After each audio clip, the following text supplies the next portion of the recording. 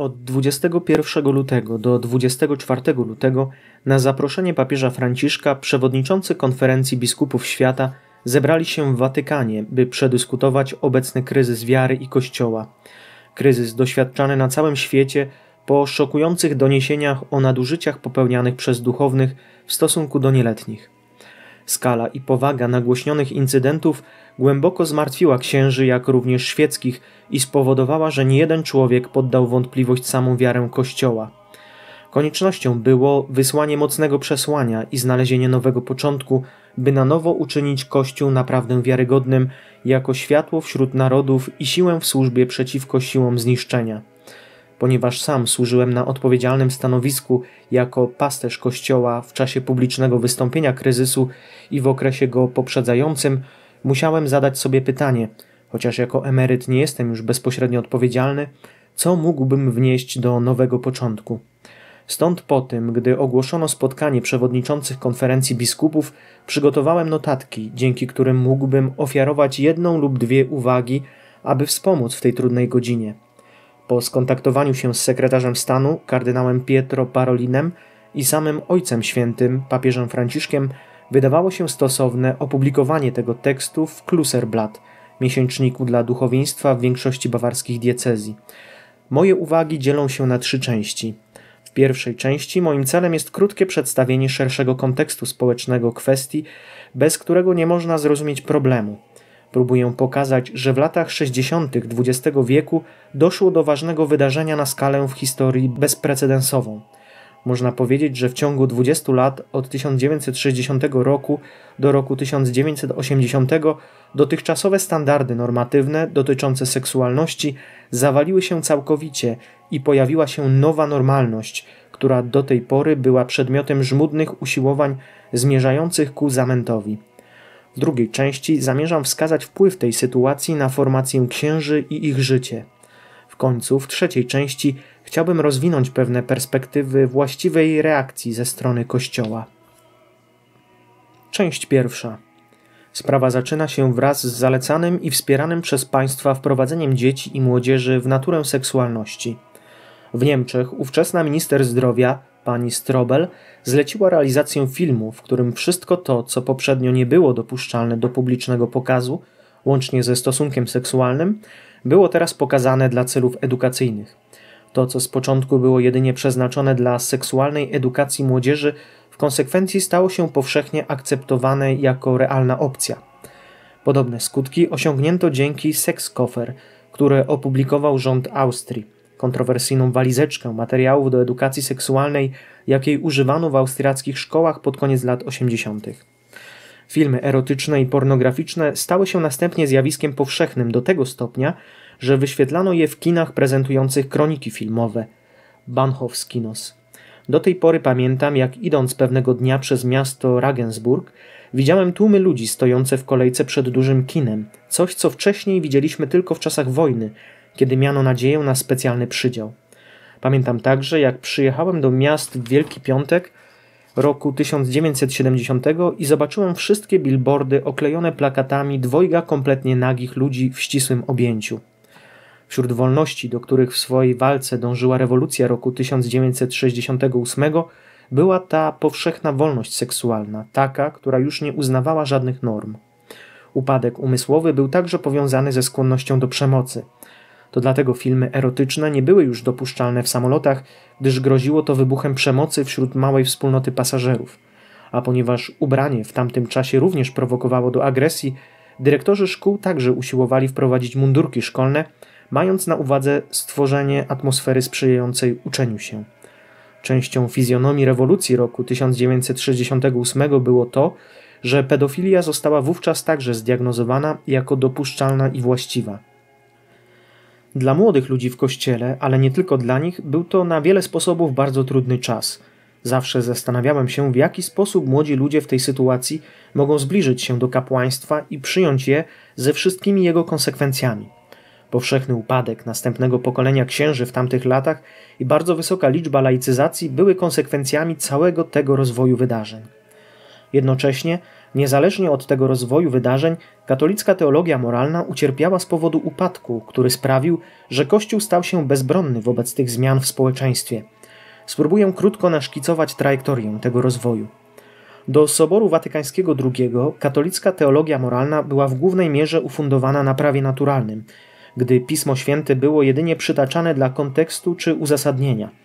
W soborowych zmaganiach o nowe zrozumienie objawienia opcja prawa naturalnego została w głównej mierze porzucona, a domagano się teologii moralnej opartej całkowicie na Biblii. Wciąż pamiętam, jak Wydział Jezuicki we Frankfurcie kształcił bardzo utalentowanego księdza, Bruno Schüllera, w celu opracowania moralności opartej całkowicie na Piśmie Świętym. Piękna rozprawa księdza Schüllera pokazuje pierwszy krok ku budowaniu moralności opartej na Piśmie Świętym. Ksiądz Schüller został potem wysłany do Ameryki na dalsze studia i powrócił zdając sobie sprawę, że nie można wyrazić systematycznie moralności na podstawie tylko Biblii. Usiłował potem stworzyć bardziej pragmatyczną teologię moralną, nie potrafiąc dostarczyć odpowiedzi na kryzys moralności. Ostatecznie główna hipoteza, że moralność ma być określana wyłącznie celami ludzkich działań, zwyciężyła. Choć stare powiedzenie, że cel określa środki, nie zostało potwierdzone w tej surowej formie, to jego sposób myślenia stał się ostateczny. W konsekwencji nie mogło już być niczego, co stanowiłoby absolutne dobro, tak jak niczego, co byłoby fundamentalnie złe. Mogły być jedynie relatywne oceny wartości. Nie było już absolutnego dobra, jedynie to, co względnie lepsze, zależne od chwili i okoliczności. Kryzys uzasadnienia i przedstawienia moralności katolickiej osiągnął dramatyczne proporcje w latach 80. i 90. 5 stycznia 1989 roku opublikowano deklarację kolońską podpisaną przez 15 profesorów teologii. Skupiała się ona na różnych punktach kryzysowych w relacjach między biskupim magisterium a zadaniem teologii. Reakcje na ten tekst, które z początku nie wykraczały poza zwykły poziom protestów, bardzo szybko zmieniły się w krzyk przeciwko magisterium Kościoła i osiągnęły w sposób wyraźny i widoczny potencjał globalnego protestu przeciwko spodziewanym tekstom doktrynalnym Jana Pawła II.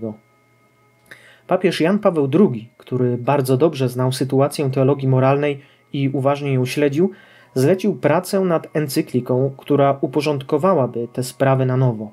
Została ona opublikowana pod tytułem Veritatis Splendor 6 sierpnia 1993 roku i wywołała gwałtowny sprzeciw części teologów moralnych. Wcześniej katechizm Kościoła katolickiego już przedstawiał przekonująco, w sposób systematyczny, moralność głoszoną przez Kościół. Nigdy nie zapomnę tego, jak wówczas wiodący niemiecki teolog moralny Franz Bückel, e, wróciwszy do swej rodzimej Szwajcarii po przejściu na emeryturę, ogłosił, mając na uwadze możliwe decyzje encykliki Veritatis Splendor, że jeśli encyklika określi, że istnieją działania, które zawsze i we wszystkich okolicznościach należy zaklasyfikować jako złe, zakwestionuje ją, używając wszystkich dostępnych mu zasobów. Miłosierny Bóg zapobiegł w realizacji jego postanowienia. Bokl zmarł 8 lipca 1991 roku. Encyklika została opublikowana 6 sierpnia 1993 roku i w istocie zawierała określenie, że istnieją działania, które nigdy nie mogą stać się dobre. Papież był w pełni świadom znaczenia tej decyzji w tamtej chwili i ponownie konsultował tę część tekstu z wiodącymi specjalistami, którzy nie brali udziału w redagowaniu encykliki. Wiedział, że nie może zostawić żadnych wątpliwości co do faktu, że rachunek moralny związany z wyważeniem dóbr musi uwzględniać ostateczną granicę. Istnieją dobra, które nigdy nie są przedmiotem kompromisu. Istnieją wartości, których nigdy nie wolno porzucać dla większej wartości, a nawet stoją wyżej niż zachowanie życia cielesnego. Istnieje męczeństwo. Wiara w Boga dotyczy czegoś więcej niż tylko zwykłego fizycznego przetrwania. Życie, które zostałoby kupione za cenę, za cenę zaparcia się Boga, życie, które opierałoby się na ostatecznym kłamstwie, jest nieżyciem. Męczeństwo jest podstawową kategorią chrześcijańskiej egzystencji. Fakt, że męczeństwo już nie jest moralnie konieczne według teorii promowanej przez Bokla i wielu innych, pokazuje, że zagrożona jest tutaj sama istota chrześcijaństwa. W teologii moralnej jednakże w międzyczasie stała się pilna kolejna kwestia. Otóż powszechną akceptacją zyskiwała hipoteza, że magisterium Kościoła powinno mieć ostateczną kompetencję Nieomylność jedynie w kwestiach dotyczących samej wiary. Zgodnie z tym poglądem, kwestie dotyczące moralności powinny nie podpadać pod zakres nieomylnych decyzji magisterium Kościoła. Jest prawdopodobnie w tej hipotezie coś słusznego, co uzasadnia dalszą dyskusję, ale istnieje minimalny zestaw zasad moralnych, który jest nierozerwalnie powiązany z fundamentalną zasadą wiary i który musi być broniony, jeśli wiara nie ma być sprowadzona do teorii, ale uznana w swoich roszczeniach do konkretnego życia. Wszystko to ukazuje, jak zasadniczo kwestionuje się autorytet Kościoła w kwestiach moralności. Ci, którzy odmawiają Kościołowi ostatecznej kompetencji nauczycielskiej w tej dziedzinie, zmuszają go do milczenia właśnie tam, gdzie granica pomiędzy prawdą a kłamstwem jest zagrożona. Niezależnie do tej kwestii, w wielu kręgach teologii moralnej wykładano hipotezę, że Kościół nie ma i nie może mieć swojej własnej moralności. Argumentowano to tym, że wszystkie hipotezy moralne będą także istnieć paralelnie w innych religiach, a zatem chrześcijańska cecha moralności nie może istnieć. Jednak kwestia wyjątkowej natury moralności biblijnej nie znajduje odpowiedzi w fakcie, że dla każdego jednego zdania można także znaleźć paralelę w innych religiach. Raczej to cała moralność biblijna jest jako taka nowa i różna od swoich pojedynczych części. Moralna doktryna Pisma Świętego ma swoją wyjątkowość ostatecznie stwierdzoną w swoim wiernym trwaniu przy obrazie Boga, wierze w jednego Boga, który ukazał się w Jezusie Chrystusie i który żył jako człowiek. Dekalog jest zastosowaniem biblijnej wiary w Boga do ludzkiego życia. Obraz Boga i moralności stanowią całość i stąd ich wynikiem jest konkretna zmiana chrześcijańskiej postawy wobec świata i ludzkiego życia. Ponadto chrześcijaństwo było opisywane od początku słowem hodos, greckim słowem na oznaczenie drogi, często stosowanym w Nowym Testamencie w rozumieniu ścieżki rozwoju. Wiara jest podróżą i drogą życia. W Starym Kościele katuchumenat został stworzony jako środowisko przeciwko coraz bardziej zdemoralizowanej kulturze, której charakterystyczne i świeże aspekty chrześcijańskiej drogi życia były praktykowane, jednocześnie chronione przed powszechną drogą życia. Sądzę, że nawet dzisiaj coś takiego jak wspólnoty katechumenalne są koniecznością, aby życie chrześcijańskie mogło ukazać się na swój sposób. Część druga. Początkowe reakcje kościelne. Długo przygotowywany i trwający proces rozpadu chrześcijańskiej koncepcji moralności był, jak próbowałem pokazać, naznaczony bezprzykładnym radykalizmem w latach 60. XX wieku. Ten rozpad moralnego autorytetu nauczycielskiego Kościoła siłą rzeczy musiał mieć wpływ na różnorodne dziedziny Kościoła. W kontekście spotkania przewodniczących konferencji biskupów z całego świata z papieżem Franciszkiem, kwestia życia kapłańskiego, jak również kwestia seminariów ma szczególne znaczenie. Jeśli chodzi o problem przygotowania do posługi kapłańskiej w seminariach, mamy w rzeczywistości do czynienia z dalekosiężnym załamaniem poprzedniej formy tego przygotowania. W różnych seminariach ustanowiono kliki homoseksualne, które działały mniej lub bardziej otwarcie i znacząco zmieniły klimat w seminariach. W jednym z seminariów w południowych Niemczech kandydaci do kapłaństwa i kandydaci do świeckiej posługi jako specjaliści duszpasterscy mieszkali razem.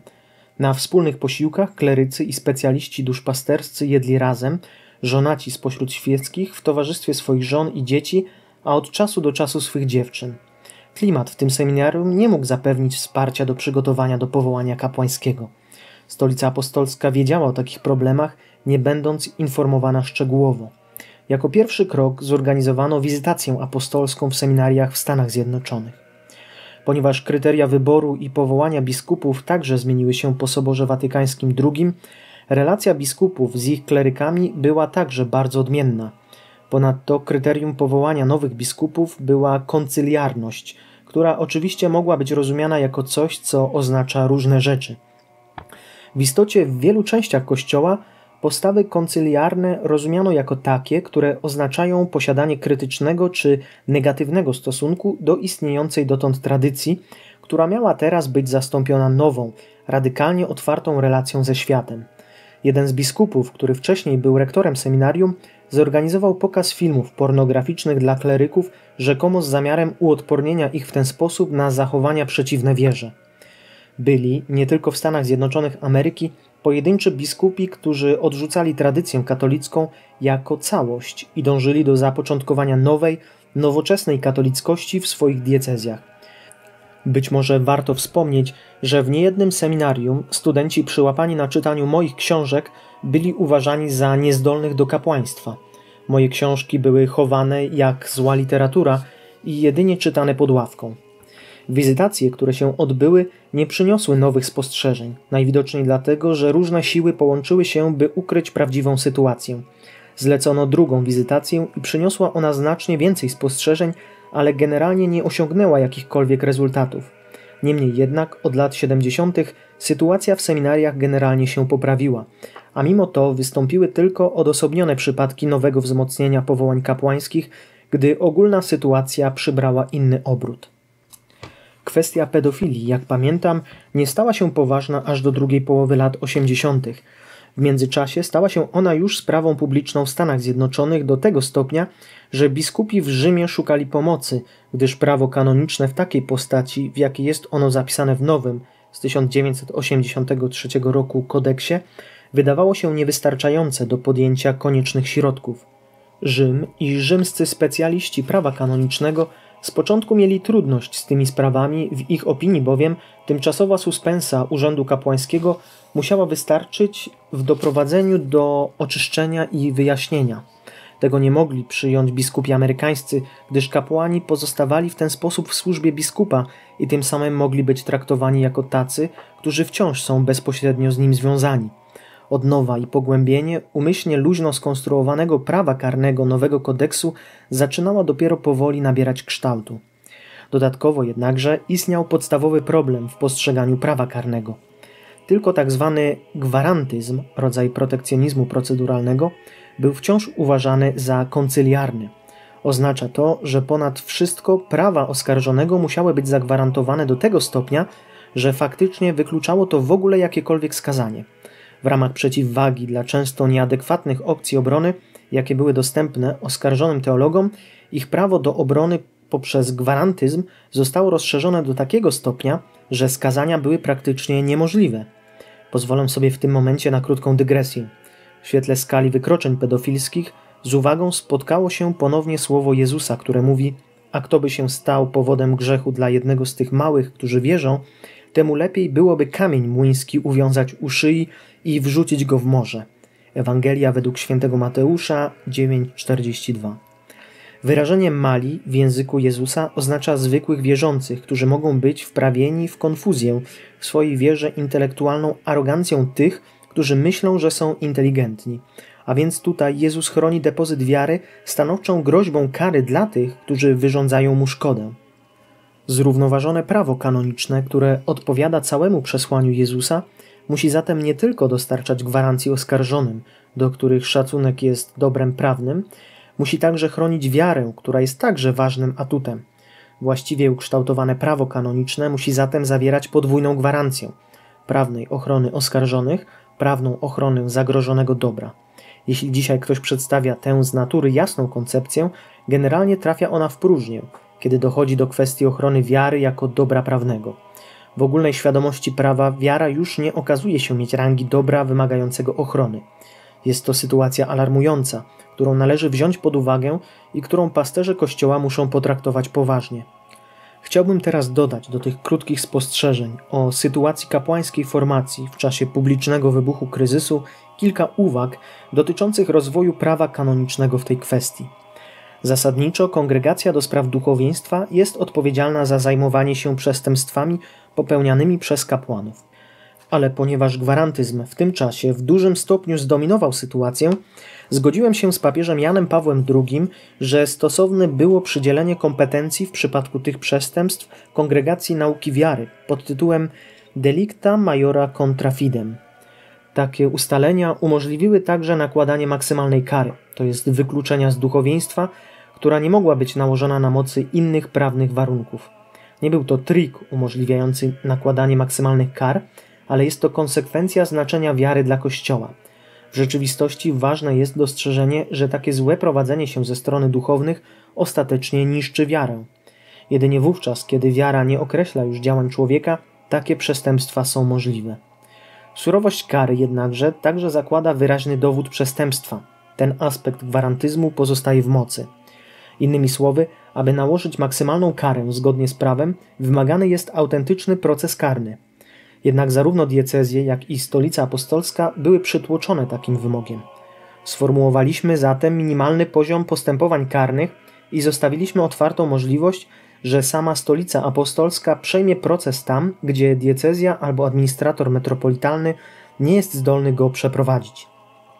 W każdym przypadku proces musiałby być zrewidowany przez kongregację nauki wiary, aby zagwarantować prawa oskarżonego. Ostatecznie w Feria 4, to jest w zgromadzeniu członków kongregacji, ustanowiliśmy instancję odwoławczą, aby zapewnić możliwość odwołania. Ponieważ to wszystko w rzeczywistości przekroczyło zdolności kongregacji nauki wiary i ponieważ powstały opóźnienia, którym należało zapobiec w związku z naturą sprawy, papież Franciszek przedsięwziął kolejne reformy. Część trzecia. Co należy zrobić?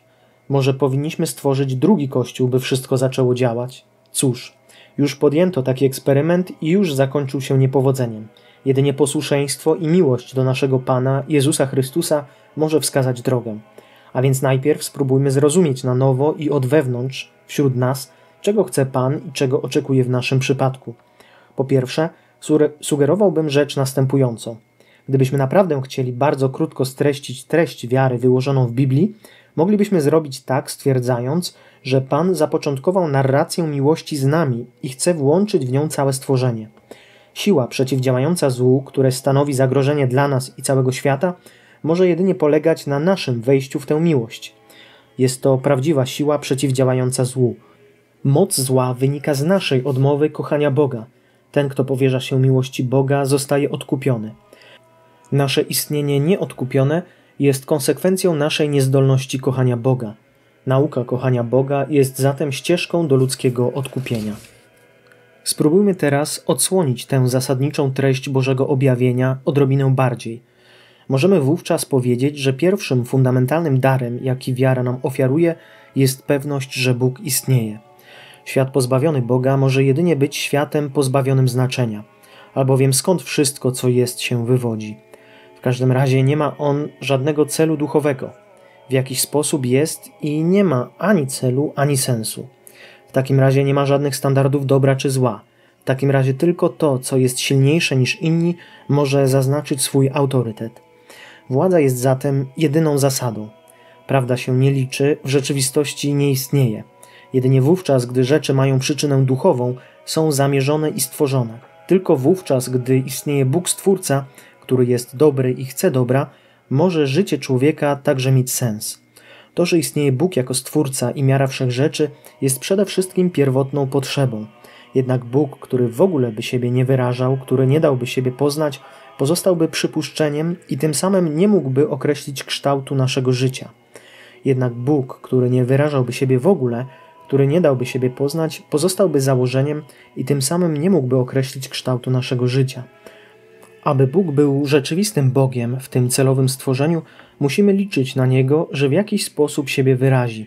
Uczynił tak na wiele sposobów, ale zdecydowanie w wołaniu, które doszło do Abrahama i dało ludziom szukającym Boga orientację, wiodącą poza wszelkie oczekiwania. Sam Bóg staje się stworzeniem, mówi jako człowiek z nami, istotami ludzkimi. W ten sposób zdanie Bóg jest ostatecznie zamienia się w prawdziwe radosne przesłanie, właśnie dlatego, że jest on czymś więcej niż rozumieniem, ponieważ stwarza miłość i jest miłością. Sprawienie, by ludzie ponownie byli tego świadomi, jest pierwszym i podstawowym zadaniem powierzonym nam przez Pana. Społeczeństwo bez Boga, społeczeństwo, które nie zna Go i traktuje Go jako nieistotnego, jest społeczeństwem, które gubi swoją miarę. W naszych czasach ukuto powiedzenie Bóg umarł. Kiedy Bóg faktycznie umiera w społeczeństwie, staje się ono wolne, zapewniano nas. W rzeczywistości śmierć Boga w społeczeństwie także oznacza koniec wolności, ponieważ to, co umiera, jest celem, który zapewnia orientację. I ponieważ znika busola, która wskazuje nam właściwy kierunek, ucząc nas odróżniania dobra od zła.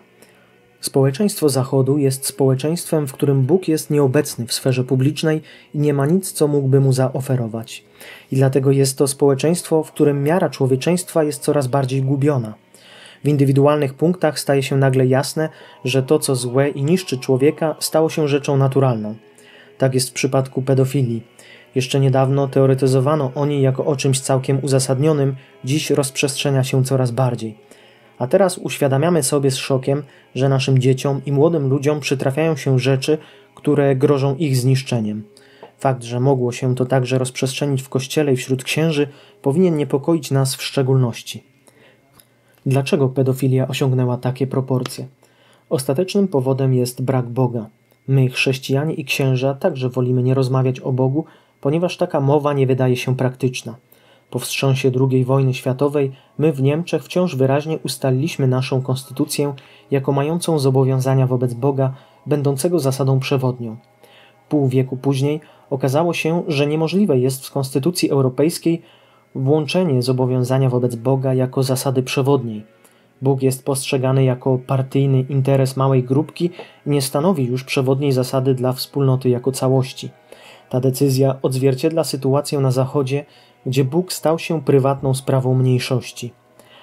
Nadrzędnym zadaniem, które musi być wynikiem moralnych wstrząsów naszych czasów, jest to, byśmy ponownie zaczęli żyć według Boga i ku Niemu. Nade wszystko my sami musimy nauczyć się ponownie uznawać Boga za fundament naszego życia, zamiast zostawiać go na boku jako w jakiś sposób nieskuteczne wyrażenie. Nigdy nie zapomnę ostrzeżenia, jakie wielki teolog Hans Urs von Balthasar kiedyś napisał dla mnie na jednej ze stron swego listu. Nie zakładaj z góry Boga w trzech osobach Ojca, Syna i Ducha Świętego, ale uobecniaj go. Istotnie, w teologii Bóg jest często traktowany naturalnie jako oczywistość, ale konkretnie nikt się nim nie zajmuje. Temat Boga wydaje się tak nierealny, tak daleki od rzeczy, które nas zajmują. A jednak wszystko staje się odmienne, jeśli ktoś nie zakłada z góry Boga, ale go uobecnia, nie zostawiając go w jakiś sposób w tle, ale uznając go za centrum naszych myśli, słów i działań. Bóg stał się człowiekiem dla nas. Człowiek jako jego stworzenie jest tak blisko jego serca, że zjednoczył się z nim i stąd wkroczył w ludzką historię w bardzo praktyczny sposób. Rozmawia z nami, żyje z nami, cierpi z nami i wziął na siebie za nas śmierć. Mówimy o tym szczegółowo w teologii przy pomocy uczonych słów i myśli, ale właśnie w ten sposób ryzykujemy, że staniemy się panami wiary, zamiast przeżyć odnowę i być opanowanym przez wiarę. Zastanówmy się nad tym, uwzględniwszy centralne zagadnienie, jakim jest odprawianie świętej Eucharystii. Nasze podejście do Eucharystii może jedynie budzić niepokój. Sobór Watykański II słusznie skupił się na przywróceniu tego sakramentu, obecności ciała i krwi Chrystusa, obecności Jego osoby, Jego męki, śmierci i zmartwychwstania do centrum życia chrześcijańskiego i samej egzystencji Kościoła. Częściowo to naprawdę się udało i powinniśmy być szczególnie za to Panu wdzięczni a jednak dominuje dość odmienne nastawienie. To, co przeważa, to nie nowa rewerencja dla obecności śmierci i zmartwychwstania Chrystusa, ale sposób postępowania z Nim, który niszczy wspaniałość misterium. Spadające uczestnictwo w uroczystościach niedzielnej Eucharystii pokazuje, jak niewiele my, dzisiejsi chrześcijanie, wciąż wiemy o docenieniu wspaniałości daru, który polega na jego rzeczywistej obecności. Eucharystia zostaje zdewaluowana do zwykłego ceremonialnego gestu, który bierze się za oczywistość, że grzeczność wymaga, by ofiarować go na rodzinnych uroczystościach czy przy okazjach takich jak śluby i pogrzeby wszystkim tym, którzy zostali zaproszeni z powodów rodzinnych. Sposób, w jaki ludzie często po prostu przyjmują Najświętszy Sakrament w komunii, siłą rzeczy pokazuje, że wielu postrzega komunię jako gest czysto ceremonialny.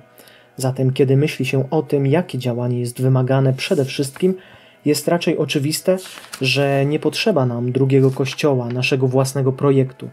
To, czego potrzeba przede wszystkim, to odnowa wiary w rzeczywistość Jezusa Chrystusa danego nam w Najświętszym Sakramencie. W rozmowach z ofiarami pedofilii dotkliwie uświadomiłem sobie ten najważniejszy wymóg. Młoda kobieta, która wcześniej usługiwała przy ołtarzu, opowiedziała mi, że kapelan jej zwierzchnik w służbie ołtarza zawsze inicjował molestowanie seksualne, jakiego dopuszczał się wobec niej słowami: To jest ciało moje, które będzie za ciebie wydane. To oczywiste, że ta kobieta nie może już słuchać tych słów konsekracji bez doświadczenia ponownie tego całego straszliwego cierpienia molestowania. Tak, musimy natarczywie błagać Pana o przebaczenie i przede wszystkim musimy święcie wierzyć w Niego i prosić Go o nauczanie nas całkowicie na nowo zrozumienia wielkości Jego cierpień, Jego ofiary. I musimy zrobić wszystko, co można, by chronić dar Eucharystii Świętej przed nadużyciami. I w końcu mamy misterium Kościoła. Zdanie, którym niemal 100 lat temu Romano Guardini wyraził radosną nadzieję, jaka została wzbudzona w nim i w wielu innych, pozostaje niezapomniane. Zaczęło się wydarzenie o nieocenionym znaczeniu. Kościół budzi się w duszach. Chciał przez to powiedzieć, że Kościoła nie doświadczano już i nie postrzegano jako jedynie zewnętrznego systemu, wkraczającego w nasze życie jako rodzaj władzy, ale że zaczął on być postrzegany jako ten, który jest uobecniany w ludzkich sercach, jako coś nie tylko zewnętrznego, ale wewnętrznie nas, nas poruszającego. Około pół wieku później, rozważając ten proces i spoglądając na to, co się wydarzyło, miałem pokusę, by zmienić to zdanie. Kościół umiera w duszach. Istotnie, Kościół dzisiaj jest powszechnie postrzegany jako po prostu jakiś rodzaj aparatu politycznego. Mówi się o nim niemal wyłącznie w kategoriach politycznych, a to ma zastosowanie nawet do biskupów, którzy formułują koncepcję Kościoła jutra niemal wyłącznie w terminologii politycznej. Kryzys spowodowany wieloma przypadkami nadużyć ze strony duchownych skłania nas do postrzegania Kościoła jako czegoś niemal niemożliwego do przyjęcia, co musimy teraz wziąć w nasze dłonie i zaprojektować na nowo. Ale własnoręcznie zmajstrowany Kościół nie może stanowić nadziei.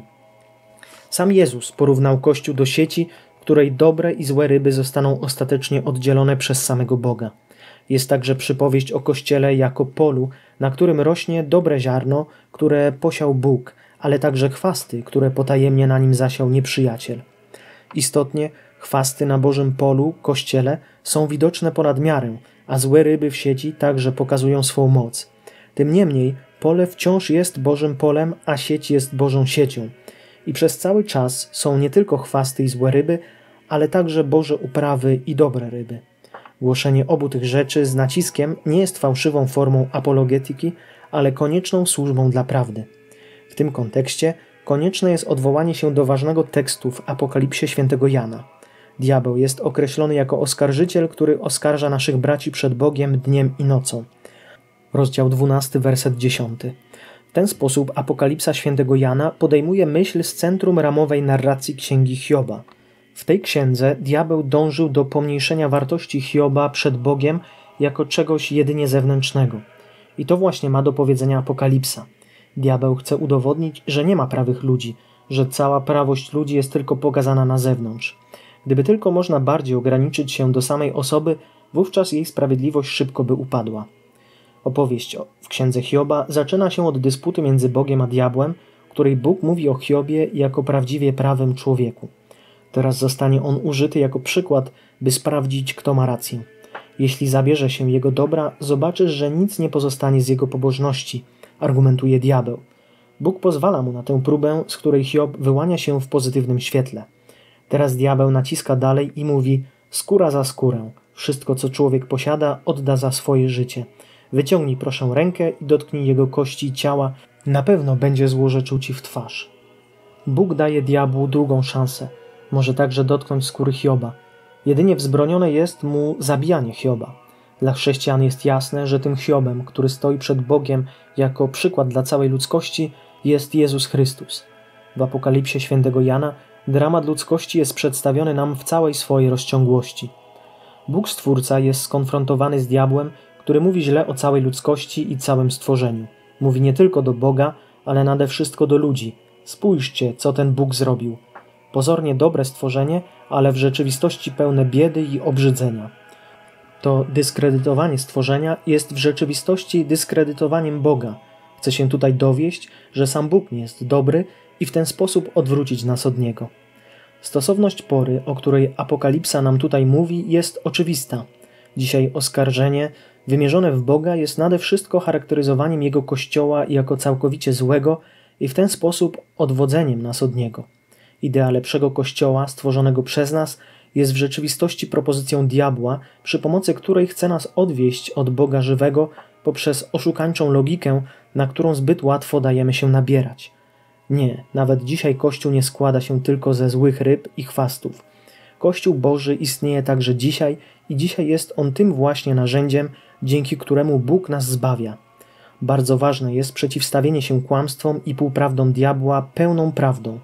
Tak, jest grzech w kościele i zło, ale nawet dzisiaj jest święty kościół, który jest niezniszczalny. Wciąż istnieje wielu ludzi, którzy pokornie wierzą, cierpią i kochają, w których prawdziwy Bóg, kochający Bóg, pokazuje się nam. Także dzisiaj Bóg ma swoich świadków na świecie. Musimy tylko być czujni, by ich zobaczyć i usłyszeć. Słowo męczennik jest zapożyczone z prawa proceduralnego. W procesie przeciwko diabłu Jezus Chrystus jest pierwszym i rzeczywistym świadkiem Boga, pierwszym męczennikiem, za którym poszła niezliczona rzesza innych. Dzisiaj Kościół jest bardziej niż kiedykolwiek kościołem męczenników i w ten sposób świadkiem Boga żywego. Jeśli się rozejrzymy i wsłuchamy uważnym sercem, będziemy mogli dzisiaj odnaleźć świadków wszędzie, szczególnie pośród zwykłych ludzi, ale także w wysokich rangach Kościoła, którzy stają w obronie Boga swoim życiem i cierpieniem. To inercja serca sprawia, że nie pragniemy ich rozpoznać. Jednym z wielkich i zasadniczych zadań naszej ewangelizacji jest, na tyle, na ile potrafimy, ustanowienie siedlisk wiary i nade wszystko znalezienie ich i rozpoznanie. Mieszkam w domu w małej wspólnocie ludzi, którzy stale odkrywają takich świadków Boga, żywego w codziennym życiu i którzy radośnie wskazują na to również i mi. Widzieć i odkryć żywy Kościół jest cudownym zadaniem, które wielokrotnie wzmacnia nas i daje nam radość w naszej wierze. Pod koniec moich refleksji chciałbym podziękować papieżowi Franciszkowi za wszystko, co robi, by pokazać nam ciągle na nowo światło Boga, które nie znikło nawet dzisiaj. Dziękuję Ci, Ojcze Święty. Benedykt XVI